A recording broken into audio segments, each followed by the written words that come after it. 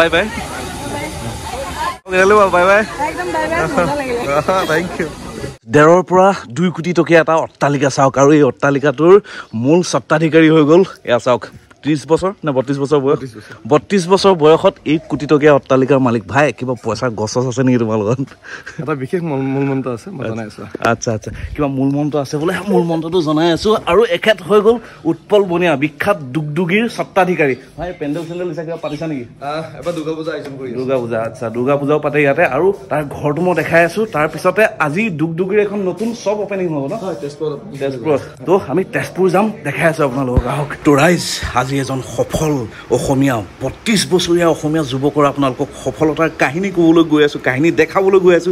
কেনেদৰে তেওঁ এই কোটি কোটি টকাৰ সম্পত্তিৰ মালিক হ'ল আৰু হি ইজ নট অনলি মানে বিজনেছমেন আৰু এজন চাওক পূৰা ছ'চিয়েল ৱৰ্কাৰো হয়। এইবিলাক দেখিছে চাওক পূৰা তাৰ ফটো চটো বিভিন্ন আছে আৰু এইবিলাক পূৰা এৱাৰ্ড চেৱাৰ্ডো পাইছা নেকি বহুত কিবা কিবি বাৰটাকে ৰাষ্ট্ৰীয় পুৰস্কাৰ পালোঁ আৰু আন্তঃৰাষ্ট্ৰীয় পাইছোঁ লগতে সাহিত্যতো মই বঁটা পাইছিলোঁ সাহিত্য। মানে অল ৰাউণ্ডাৰ অল ৰাউণ্ডাৰ আৰু চবতকৈ ভাল লাগিছে দৰ্জাখন চাওকচোন। মাতা লক্ষ্মী নহয় গণেশ। গণেশজীৰ পুৰা প্ৰতিমূৰ্তি ইয়াত অংকন কৰা আছে দেখিছে? চাওক এইখন হৈ গ'ল ঘৰৰ মেইন দৰ্জা।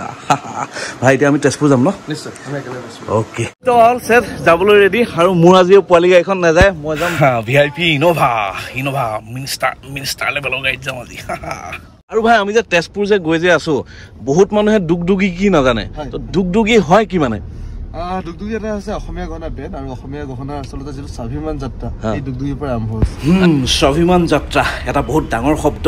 মানে চাওক দুগদুগী প্ৰতিষ্ঠানখনেই এনেকুৱা এটা প্ৰতিষ্ঠান যিয়ে মানে অসমীয়া গহনাক বিশ্ব দৰবাৰত প্ৰতিষ্ঠা কৰিবৰ কাৰণে সক্ষম হৈছে। গম পাইছেনে? আৰু বৰ্তমান আহি পাই গ'লো আমি তেজপুৰ। তো আহি পাই গ'লোহি তেজপুৰৰ চিভিল পাৰ্কিঙৰ ওচৰত ন? হয়, হয়, একদম চিভিল পাৰ্কিঙৰ ওচৰত আৰু এখন চাওক দুগদুগী পাৰ্কিং আৰু সন্মুখত দুগদুগী উৎপল এখন কেই নম্বৰ ষ্ট'ৰ? ছয় নম্বৰ ষ্টৰ। অসমৰ বিভিন্ন জেগাত আছে তেওঁলোকৰ ক'ত ক'ত আছে মই কৈ আছো কিন্তু আজি এই ষ্ট'ৰখন অপেনিং আছে ৰ'ব। আহক চাওক। দিছ ইজ হাহা অসমীয়া গহনাৰ দোকান। আৰু তেজপুৰৰ এই চিভিল পাৰ্কিঙৰ একদম ফ্ৰণ্টতে পৌৰ চাৰিআলিৰ পৰা একদম চিধা চিধি আহি থাকিলেই পাই যাব আপোনালোকে। মানে পৌৰ চাৰিআলিৰ পৰা এনেকৈ টাউনৰ ফালে সোমাই আহিব লাগে আৰু। আৰু এইখন চাওক দোকানখন একদম ফ্ৰণ্টৰ পৰা। দেখিছে বেলুন চেলুন লগাই মানে কিবা একদম বাৰ্থডে খাবলৈ অহা নিচিনা লাগিছে এই গম পাইছে। আৰু এয়া চাওক ভিতৰত ইমান ধুনীয়াকৈ নেকলেচবিলাক সজাই কৰি ৰাখিছে এইফালে খাৰু চাৰু আছে আৰু। আৰু দুগদুগীয়ে প্ৰত্যেক বছৰে অসম কন্যা বুলি এটা প্ৰতিযোগিতা পাতে ন? বহুত জনপ্ৰিয় এইটো অনুষ্ঠান। আৰু বিশেষকৈ এইবাৰ দহ মিলিয়নতকৈ অধিক ভিউৱাৰ্ছ হৈছিলে আচ্ছা। আৰু অসম কন্যা ফাৰ্ষ্ট পজিশ্যন ছেকেণ্ড পজিশ্যন সকলোৱে গমেই পাইছে ইতিমধ্যে। আৰু প্ৰায়খিনি লোক আহিব আজি চাৰি পাঁচগৰাকী হ'লেও আহিব। আচ্ছা আচ্ছা। আৰু তেওঁলোকক আজি মানে এটা সম্বৰ্ধনা জনোৱা হ'ব ন? আচ্ছা আচ্ছা বঢ়িয়া। আৰু ইয়াত চাওক গৰিমা বৌ মানে গৰিমা বৌ দুগদুগীৰ ব্ৰেণ্ড এম্বেচেডৰ হয়। বৌ আহিব আজি ফিতা কাটিবৰ কাৰণে ইয়াতে ৰ'ব ফুটবল গৰিমা বা আহিব আৰু কোন কোন আহিব গৰিমাৰ পৰা আহি আছে আৰু লগত আমাৰ জনপ্ৰিয় কণ্ঠশিল্পী গীতালী দেৱী লগত থাকিব আমাৰ জয়ন্ত কাকতি সংগীত পৰিচালক সুমিত থাকিব। বিভিন্নজন আহি আছে। আচ্ছা আচ্ছা।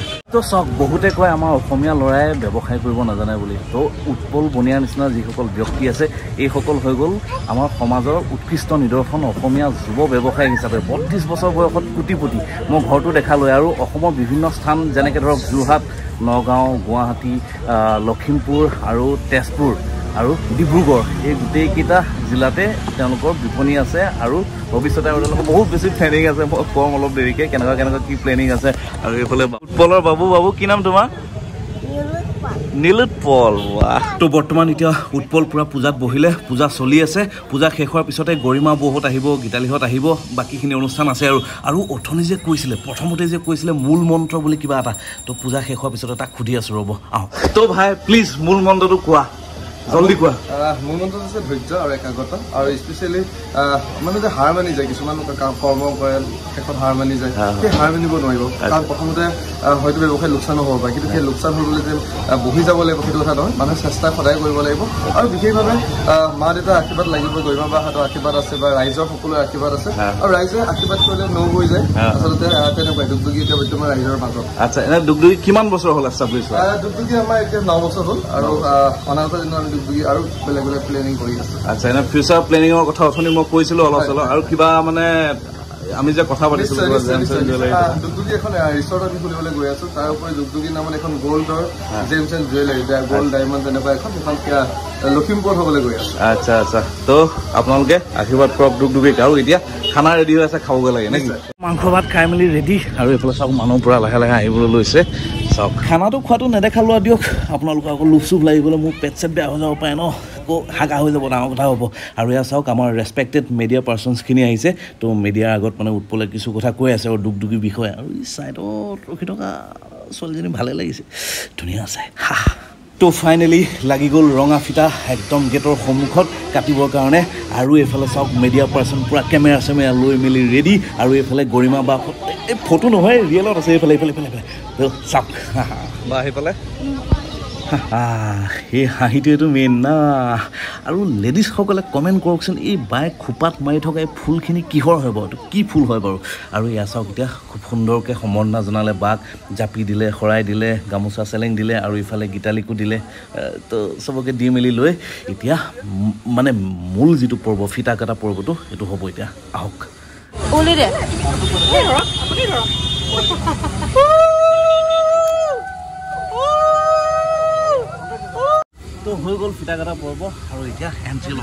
আৰু নতুন দোকানখনত প্ৰৱেশ কৰি বায়ে খুব সুন্দৰকৈ চাকি বন্তি ধূপ ধূনা জ্বলাই গোটেই পৰিৱেশটো পবিত্ৰ কৰি লৈ তাৰপিছত কেক কাটি পেলাই ইজনে সিজনক শুভেচ্ছা বাৰ্তা দিলে উৎপলক বিশেষকৈ কংগ্ৰেচুলেশ্যনছ দিলে আৰু তাৰপিছতে হঠাৎ মোৰ লগত ঘটি গ'ল এইটো ঘটনা। চাওক অনাকাংক্ষিত মানে মই ভবা নাছিলোঁ কেতিয়াও।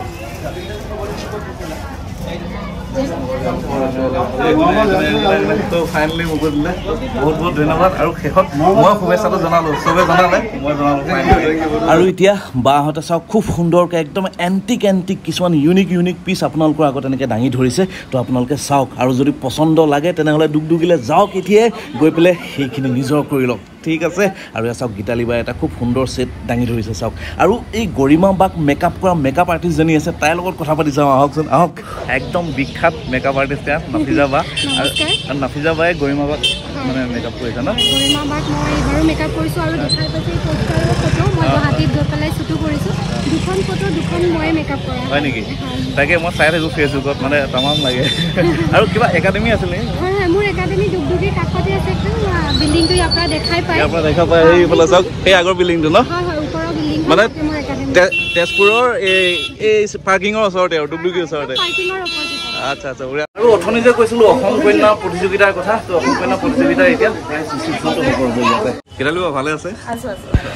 আৰু এতিয়া সেয়া চাওক এই সকলে হৈ গ'ল অসম কন্যা প্ৰতিযোগিতাৰ মানে প্ৰতি মানে উইনাৰসকল। আৰু এতিয়া তেওঁলোকক ক্ৰমান্বয়ে মানে বঁটা বিতৰণ মানে বঁটা দিব আৰু এয়া চাওক অসম কন্যাৰ পৰা গামোচা চামোচা চব ৰেডি কৰি আছে আৰু বাহঁতে। আৰু এতিয়া বঁটা দিব আৰু। দুগদুগীয়ে প্ৰত্যেক বছৰে আহ, অসম কন্যা প্ৰতিযোগিতা পাতি আহিছে। আৰু এইবাৰ আমি চতুৰ্থ নম্বৰ অসমীয়া কন্যা প্ৰতিযোগিতা পাতিছিলোঁ। আৰু অসম কন্যা প্ৰতিযোগিতাত প্ৰায় দহ মিলিয়নতকৈ অধিক লোকে অসম কন্যা প্ৰতিযোগিতাত অংশগ্ৰহণ কৰিছিলে। আৰু তাৰ মাজৰ পৰা বিজয় লাভ কৰিছে ৰিংকু ৰাগিনীয়ে। আৰু তেখেতক আমাৰ ফালৰ পৰা শুভকামনা যাচিলোঁ আৰু তেখেত দুয়োকে তেখেতক সম্ভাষণ জনাব। আমাৰ সকলোৱে মৰমৰ গৰিমা শইকীয়া গায়ক আৰু আমাৰ গীতালী দেৱী বাইদেৱে তো এয়াই আৰু অসম কন্যা যিসকলে অসম কন্যাৰ বিষয়ে নাজানে তেওঁলোকে দুগদুগীৰ অফিচিয়েল পেজত গৈ পেলাই চাব পাৰিব অসম কন্যা প্ৰতিযোগিতা কি হয় আৰু এয়া সকলোকে ধুনীয়াকৈ বঁটা মানে বিতৰণ কৰিলে বাহঁতে সেয়া থাৰ্ড আছিলে বাকী কেইজন ফাৰ্ষ্ট আৰু ছেকেণ্ড ক্ৰমান্বয়ে আছিলে। তো সেয়াই আছিলে আৰু। তো এনেকৈ অসম কন্যা প্ৰতিযোগিতাৰ প্ৰাইজ ডিষ্ট্ৰিবিউশ্যন হৈ গ'ল দিয়ক। সেয়া চাওক থাৰ্ড দি আছে। Okay hello' bye bye thank you তো শেষত এবাৰ ৰাতিৰ দৃশ্যটো মই দেখাই দিওঁ আপোনালোকক। চাওক দুগদুগি দেখিছে লাইট চাইট জ্বলে কেনেকুৱা মজা হৈ আছে। তো আহিব তেজপুৰৰ চিভিল পাৰ্কিঙৰ একদম ফ্ৰণ্টতে আছে আৰু ইয়াতে আছে তেওঁলোকৰ বিখ্যাত বিখ্যাত কালেকশ্যনছবিলাক আহিব বিশেষকৈ লেডিজসকলক মই অনুৰোধ জনাইছোঁ। তো এয়াই আছিলে দুগদুগিৰ তেজপুৰৰ নতুন বিপণীখনৰ অ'পেনিং আৰু এতিয়া আমাৰ উভতনি যাত্ৰা। আৰু যিসকলে চেনেলটো নতুনকৈ চাই আছে তেওঁলোকে চেনেলটো ছাবস্ক্ৰাইব কৰি দিব লগতে বেল আইকনটো টিপি দিব তেতিয়া নটিফিকেশ্যনবিলাক পাব। আৰু শেষত মই উৎপলক একদম হাৰ্টলি থেংকছ দিছোঁ। থেংক ইউ ভাই